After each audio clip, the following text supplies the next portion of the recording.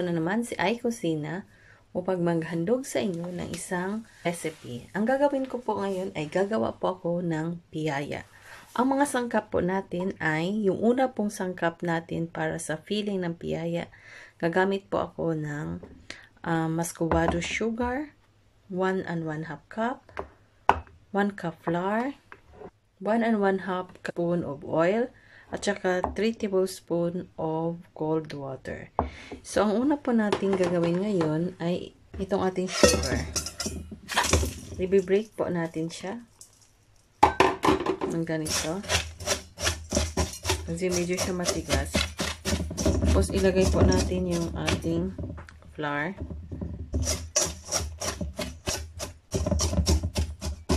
May bubuo kasi pag ang yung mga maskubadong sugar, nagbubuo siya.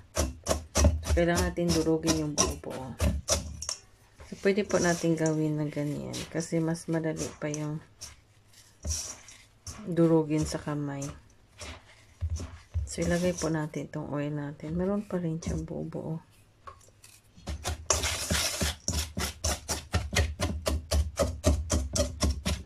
So, ilagay natin yung oil.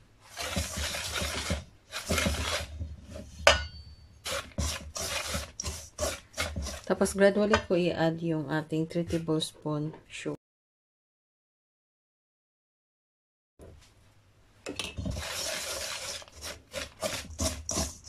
Tapos, lagay na na pangalawa na ito.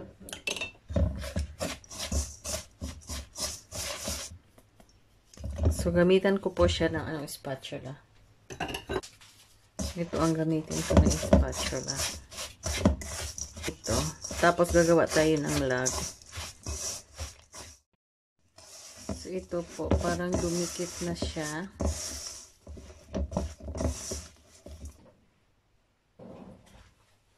Ganuhin ko muna. Ganito.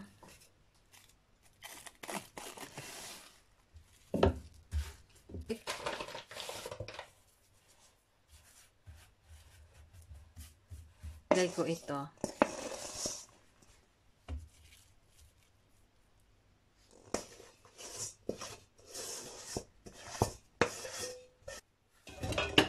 Tapos, iano natin ito katulad niyan. Parang, gawin natin ng log.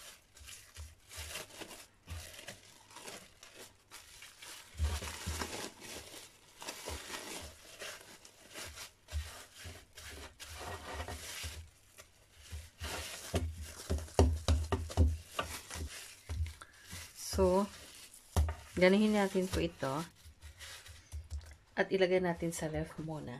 Natin yung, ngayon ilagay ko ito sa ref kasi gagawin natin yung ating dough.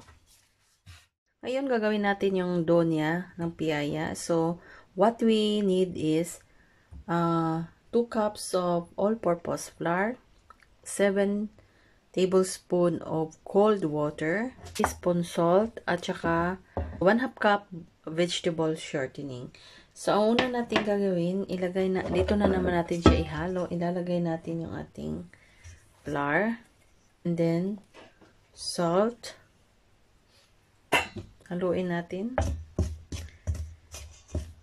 Ilagay natin yung ating vegetable shortening. Or pwede din lard. Yung sa ito ng tinidor. Po ako ng dalawang tinidor. Ganyan. Tapos, ilapit ko yung tubig kasi gradually mag-a-add po ako ng water. Cold water po ito. Parang the same siya paggawa ng pie crush.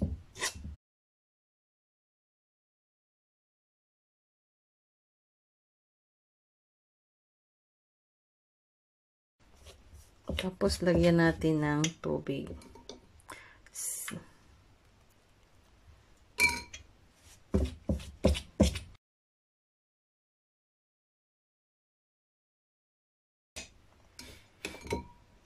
Tapos, lagyan natin ulit. Pangalawa na yan.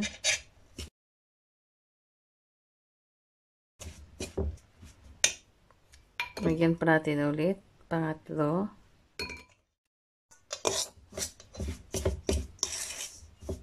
So, lagyan na natin ulit. Pang-apat. So, lagyan pa natin pang-lima. So, pang-pito na.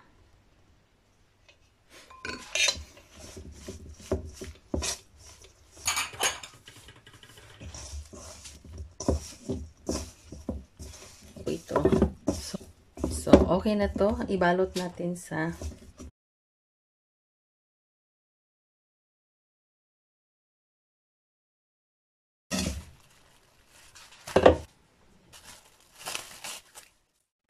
Ngayon, magpo-form ako ng log at saka ball.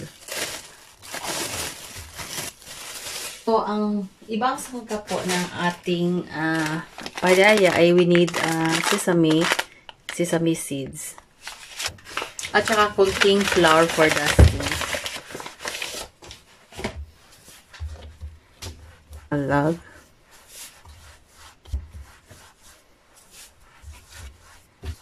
Cut po natin ito.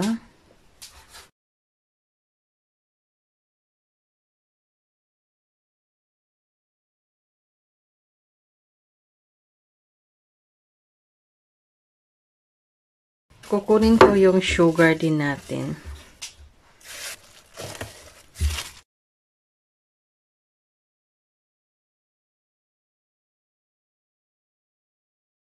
Two, three, four, five, six, seven, eight, nine, ten, eleven. Eleven na. So, eleven na po ito. So, we'll separate uh, first. Yan. So, ngayon magpapainit po ako ng, ng kala, kalha sa Bisaya. Lagay tayo ng ganyan. Sesame seeds. With the spatula.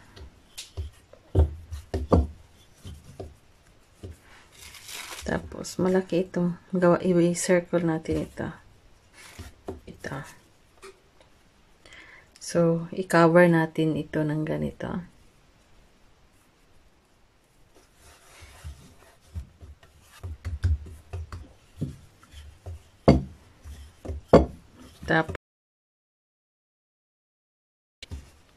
Kasi, mas gusto ko yung medyo makapal na na ganito lang. Tapos, tusukin natin. Tusukin po natin siya dito. Ng ganan.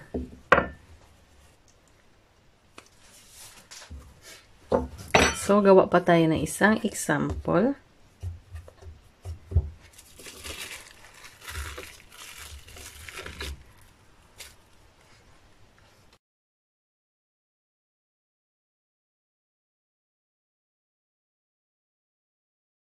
Ganyan. Tapos, ganitahin.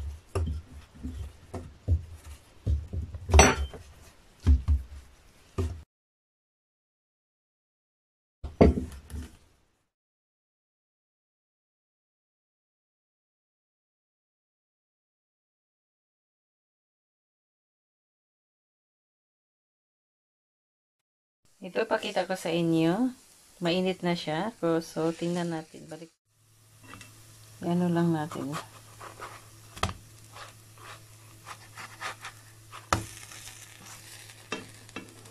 Malapit itong maluto.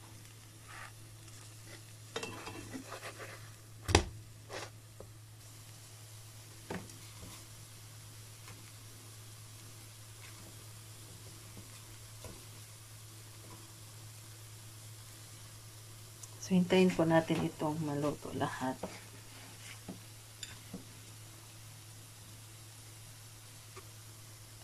So, baliktarin natin ulit.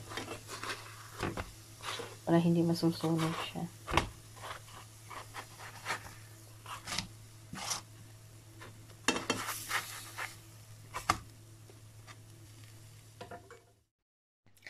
So, dito na po, luto na po yung ating uh, original na flavor na piyaya with the muscovado sugar. Luto na po siya.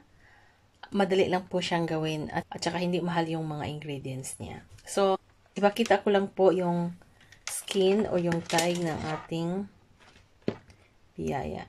So, ito na po. Papakita ko po sa inyo. Gaano siya ka-crispy. Crispy po siya. Ito. Sarap po ng ano niya. Tingnan yung crispy dito. Mm. Crispy po itong piyaya natin. At saka ang bango po ng, ng piyaya dahil sa sesame uh, seeds niya. Yung sesame seeds nakadagdag sa bango at saka yung muscovado sugar. So, ito na po siya. Sana po nagustuhan ninyo ang video na ito at sana po don't uh, please don't forget to like, to share, to comment, and to subscribe to my channel. Sana po mayroon kayong natutunan sa video na ito, matutunan na bagong recipe na naman. So hanggang sa susunod na naman ulit at saka maraming salamat din sa mga bagong subscriber ko. Salamat sa pag-subscribe niyo sa akin. At maraming salamat din sa laging nagko-comment at ah, naging kaibigan ko na na lagi pong nagko-comment. Salamat po sa inyo, nandyan kayo. Uh, lagi pong nagsusuporta sa akin. Maraming maraming salamat po sa inyo. So, sa susunod muli, makikita po tayo. May the Lord bless you always. Bye!